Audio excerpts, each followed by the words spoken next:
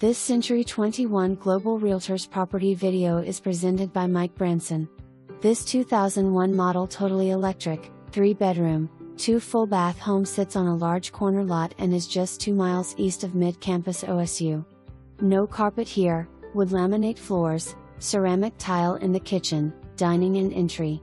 The U-shaped kitchen is a cook's favorite and comes with all appliances shown and an adjacent dining area. Spacious living room has good natural light. There is a one-car extra wide garage with washer and dryer connections, a pull-down attic ladder and overhead door opener. The driveway is double wide. The roof is only one year old.